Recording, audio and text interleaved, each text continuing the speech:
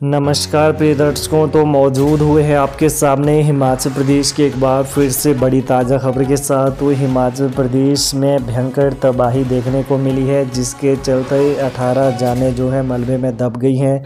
तो क्या ये प्रमुख रूप से खबर रहेगी? आपके समक्ष ज़रूर साझा करेंगे। तो आगे बढ़ने से पहले हिमाचल प्रदेश की ताज़ा खबरों को जानने के लिए कृपया चैनल को भी सब्सक्राइब करें। तो जगत सुख के नागनी नाला में भूस्खलन से ढाई मंजिला मकान जमींदोज गाय सहित 18 कुत्ते भी मलबे में दबे हिमाचल प्रदेश के कुल्लू ज़िले के उपमंडल मनाली के जगत सुख में भूस्खलन से ढाई मंजिला मकान जमींदोज हो गया है। आधी रात को हुए भूस्खलन में गाय सहित 18 कुत्ते मलबे में दब गए।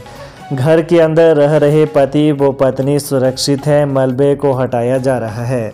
छह कुत्तों को जीवित निकाला गया, बचाव कार्य अभियान जारी है।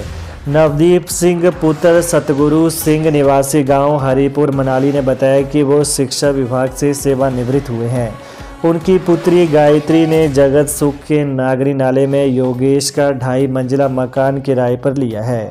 गायत्री यहाँ एनजीओ चलाकर जानवरों का रेस्क्यू सेंटर चलाती है। नवदीप ने बताया कि वो अपनी पत्नी, व बेटी के साथ जगत सुख में रहते हैं। कहा, मकान में एक गाय, व 24 कुत्ते भी थे। रात को जब वे सोए हुए थे तो जोरदार धमाका हुआ। लगा कि भूकंप आया है, लेकिन जब उठकर देखा तो पहाड़ी में हुए भूस्खलन का मलबा घर में आ गया। भूस्खलन से घर पूरी तरह क्षतिग्रस्त हो गया। भूस्खलन से एक गाय व अठारह कुत्ते मलबे में दब गए।